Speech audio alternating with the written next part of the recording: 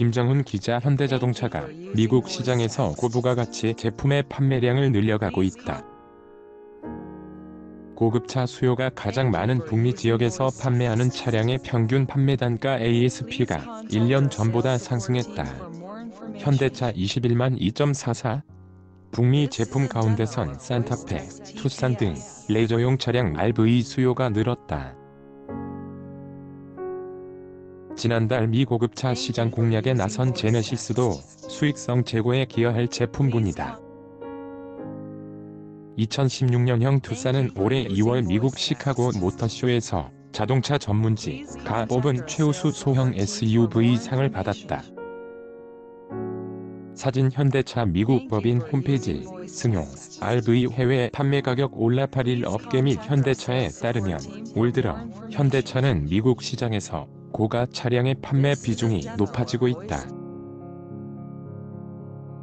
제네시스를 비롯해 RV 판매가 늘어난 것. 올 들어 8월까지 현대차의 미국 판매 대수는 52만 1078대로 전년 동기 대비 1.3 가하는데 그친 반면 고가 차종은 판매 증가세가 두드러졌다.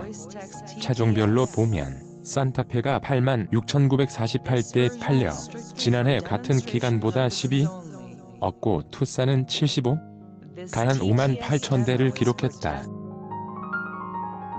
지난 8월부터 G80 판매에 나선 제네시스 차량도 앞으로 판매 단가 상승에 긍정적인 영향을 미칠 것으로 예상된다. G80은 첫 달 1497대가 팔려 순조로운 출발을 보였으며 G90도 9월 말 공식 판매를 시작한다. 현대차의 2016년 반기 보고서를 보면 국내 생산 수출 차량과 해외 생산 판매 차량의 상반기 ASP는 승용, RV 모두 증가했다.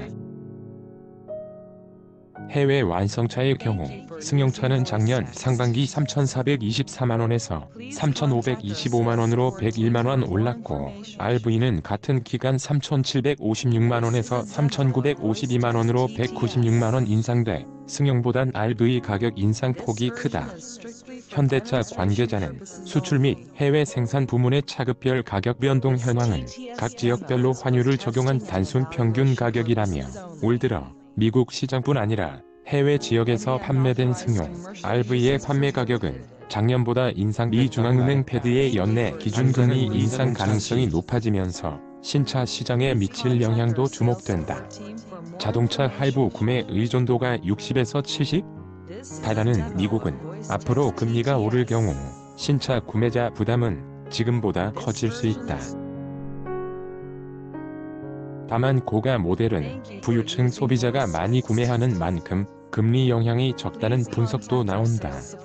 송선재 하나대 투증권연구원은 제네시스는 대중차보다 금리 인상에 상대적으로 영향을 적게 받을 것으로 보인다며 금리보단 제품력과 마케팅이 앞으로 제네시스 판매에 더 많은 영향을 끼칠 것이라고 내다봤다. 지난 8월 미국 시장 판매를 시작한 제네시스 G80 사진 현대차 MK 현장 경영 나서 고가차 시장 고비 젠다 정몽구 회장의 이번 북미 출장 효과도 향후 고가차 시장 확대에 어떤 영향을 미칠지 관심을 모은다. 현대, 기아차 8만 3600.6형 정 회장이 미국 출장 기간에 고급차, 스포츠 유틸리티 차량 SUV 등 고부가 차량의 판매 확대 및 역량 강화를 주문할 방침이라고 밝혔다. 정 회장은 이번 주 로스앤젤레스 LA에 있는 미국 판매법인과 딜러점 방문에 이어 기아차 멕시코 공장 준공식에 참석하는 등 하반기 북미 시장 상황을 점검하고 있다. 불확실성이 커지고 있는 상황에서 신차 시장이 활기를 띠는 미국에서는 판매 확대를 위한 방안으로 4분기 딜러 인센티브 조정 등을 논의했을 가능성이 크다. 이와 함께 현대차는 올 11월 미 시장에서 고가 차량으로 분류되는 3만 달러 이상 승용차 시장에 신형 그랜저 미국명 아제라를 투입한다. 큰 성과를 내지 못했던 그랜저는 현대차가 다시 한번 미중산층 수요를 공략하기 위해 승부수를 띄우는 모델이 될 전망이다. 김정훈 한경닷컴 기자 레노넷 한경.com